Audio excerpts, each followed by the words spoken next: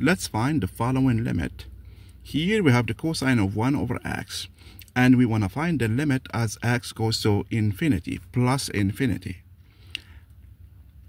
Uh, one key idea here is that we can try some values of bigger values and we see what, what happens. We can do that.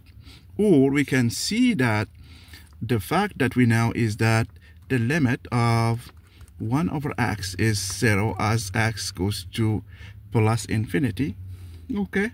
And there is one key idea here is that the cosine is a continuous function okay? And therefore the cosine of 0 is 1 this means that this limit is 1 okay?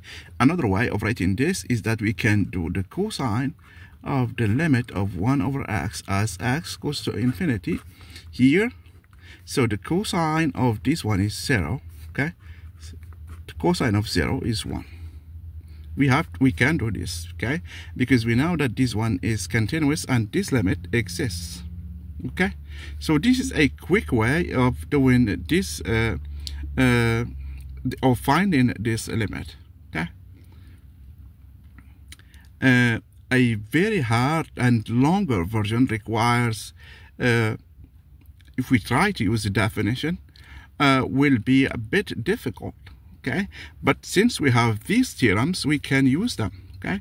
We prove theorems that uh, are useful. We can use them as we did here. So therefore this limit exists okay? Try to use the definition of the limit here at infinity to show that this one exists okay? Good luck with that. Thank you very much